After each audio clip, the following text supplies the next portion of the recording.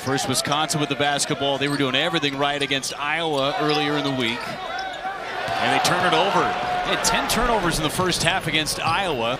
Got a naked ball screen, little slip, got an easy one, and he just didn't get it down. And now Nebraska takes advantage and get they get transition, which is so important for them. Just a little cautious. They were so good and energized against Indiana at home.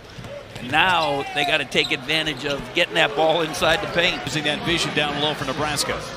You got the little fake handoff, little dish. Wisconsin with Carter Gilmore and John Blackwell on the floor. Tominaga step back three, drains it. Tominaga had just a little bit of space. Now it's Sam Hoiberg who knocks down the triple. Missed the shot into the hands of Allick. Here come the Huskers. Gary running the floor, able to hit the layup.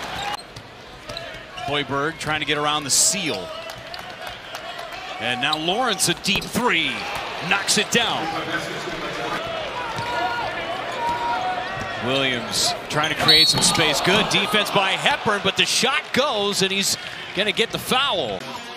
Got the post up just a little bit close. Give that extra little nudge, and he got the roll. Keep Nebraska in the game. Came down. He wanted to make a play every time. Now he's letting the defense take what the defense gives him. Mast all by himself, finally able to knock down a field goal. And that was huge. It, it makes it tough for him. Usually he's good at getting the handoffs and going to the cutters and getting assists.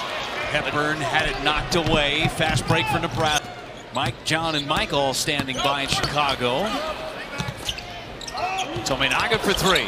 Boy, did Nebraska need it to go. Give him an inch, he'll take a foot.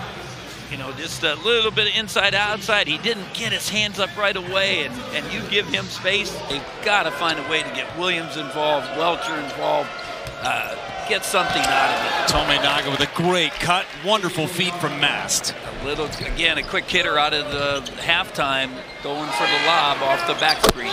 Mast hits the triple, and just like that, it's an 11-point game. He's been one that has really done a nice job, whether he's he's spacing the court, making the threes, he passes the ball well, and then he'll use that. Great job by Hepburn to create the turnover. Blackwell passed up the three, and then turns it over. First turnover of the second half, just the fourth in the game. Tominaga, nice cut to Gary for the dunk. Trying to fight for more. Juwan Gary helping out the Huskers. Good basic basketball. Jump stop at the free throw line. Great little dish off, and Gary with the dunk. They've made it tough on, on Williams. They've made it tough on uh, Lawrence. They've made it tough on Gary. Just getting Ball had it rejected by Gary. Wanted to go to Tominaga, and they had a little set, but Klesmit did a great job of fighting him. Shot by C.J. Wilcher. He had A.J. Storr all over him. Leading in into the paint. Allick comes away with it. No reset. And Rienk Mast finish off what was a weird possession for Nebraska. Yeah, what a nice spark. Uh, you know, had a great freshman year. Not the year that anyone probably thought he would, but if they can get him going. Allick hits a three on the other end. Third best in the Big Ten behind Purdue and Illinois.